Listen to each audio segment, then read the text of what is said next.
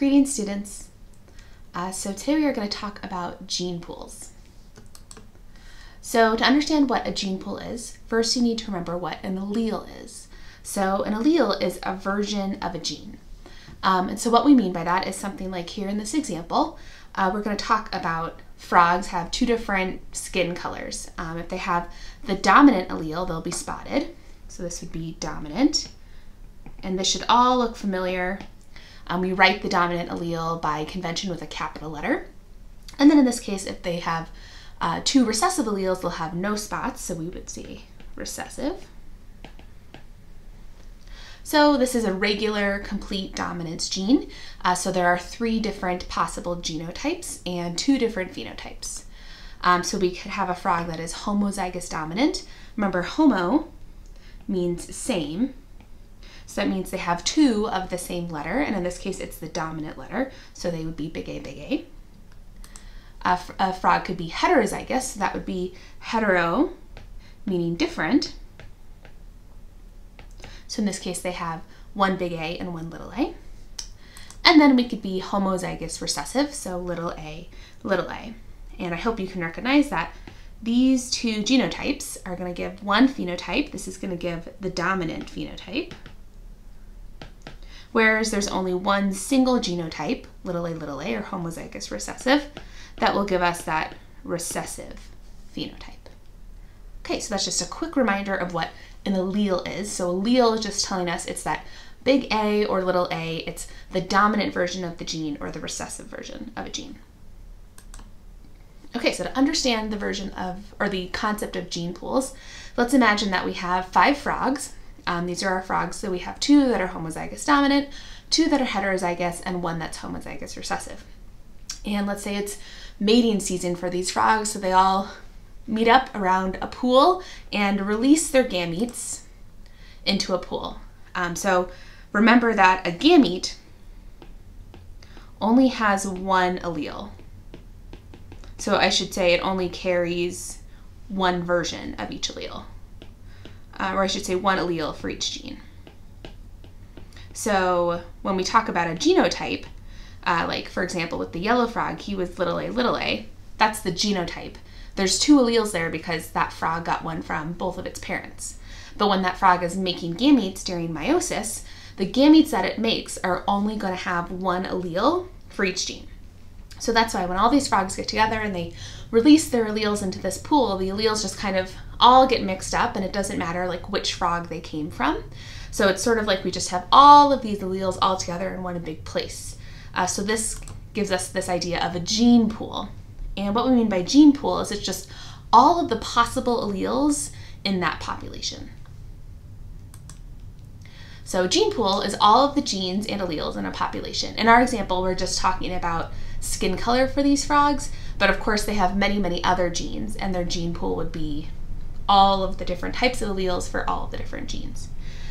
Um, this picture on the left makes it like a very literal pool. Obviously, this is just sort of a very simple example, but in reality, the gametes aren't always all in a pool. Like, for example, here are some pictures of mice. So, in these mice, there's many different genes. So, we can see there's a gene for uh, like big T, little t, that's telling us something about like coat color, and then we've got one for C and we've got one for S. So there's three different genes. And then each gene has different versions of it, so different alleles. And the gene pool would be if we took all of those letters in that picture and just put them together in a big pile, that would be a gene pool. Okay, so the reason that gene pools are important is because we need to start thinking about not just the genes that a single individual has, so not the genes in like this one individual mouse, but the genes of all the mice together as a population. Because now in this unit, in the evolution unit, instead of thinking about the genes and the alleles of a single individual, we need to start thinking about the alleles of the entire population and how that changes over time. So it becomes a much like bigger picture idea, and that's why we need to start thinking about gene pools. So the way that's going to translate into what you need to understand is being able to calculate frequencies of these different genes. And a frequency is just a fraction. So this is going to be a fraction. And it's always going to be a fraction that's less than 1. So it's sort of like a percent, but we're expressing that percent as a decimal. So this is asking what is the allele frequency of the dominant A allele?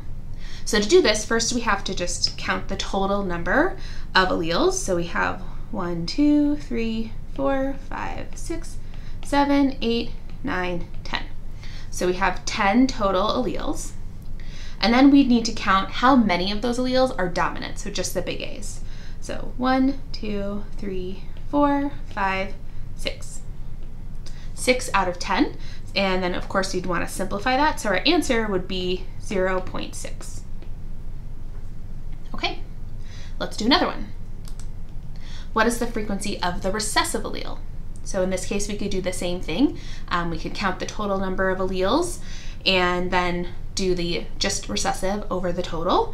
Um, or you could also have realized that we just in the previous problem figured out that the dominant allele was 0.6. Therefore, the recessive allele must be 0.4 because that's all that's left. So in this case, it's going to be 0.4. Okay, so now there's a space in the Google Doc for this module. Go ahead and stop and jot think for a second. See if you can answer this question. So frogs without spots are more likely to be eaten than frogs with spots. Based on this, what do you think will happen to the frequency of the dominant allele over many generations? So go ahead and pause the video and take a moment to answer that question. Okay, so frogs that don't have spots are more likely to get eaten. So in other words, the little a allele, if a frog is homozygous recessive for that allele, they're more likely to get eaten. In that case, we would say spots are a beneficial adaptation because the spots are helping that individual survive and reproduce. Frogs with spots are more likely to survive and pass on their genes. And over many generations, the frequency of the spots, so the big A allele, is going to increase in the gene pool. So in other words, the frequency of those alleles is going to be changing over time, and that's what happens in evolution. So that's exactly what this picture is showing us. So in the initial generation, um, you can see that we had a pretty even mix of the dominant and recessive allele. And over many generations, you can see, um, in this case, the home or the recessive allele is advantageous, but over many generations, essentially that disadvantageous dominant allele is going away. And so this change over time this is evolution. So we can now redefine evolution in terms of allele frequencies. Um, so we can say evolution is a change in the allele frequencies in a population over many generations. Okay, so that's what we mean when we say evolution is change over time. Um, we can specifically mean it's the change in allele frequencies over time. Okay, so let's do a little bit more practice with calculating these frequencies. Uh, so what are the frequencies of the dominant and recessive alleles in this example? Um, so first off, we need to count all of the alleles. Well, if we count, there's one, two, three, four, five, six, seven, eight, nine flowers. So there's nine flowers. And we can recognize that each flower has two alleles. So that means we're going to have 18 total alleles.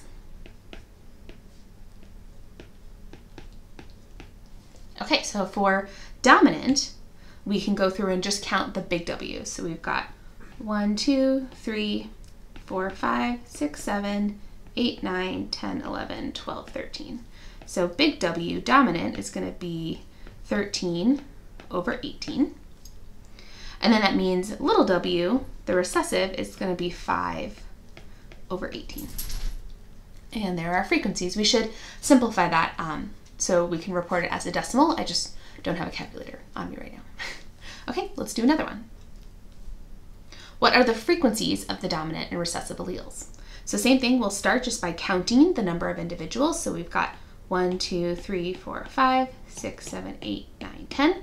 So we've got 10 rabbits, and each rabbit has two alleles.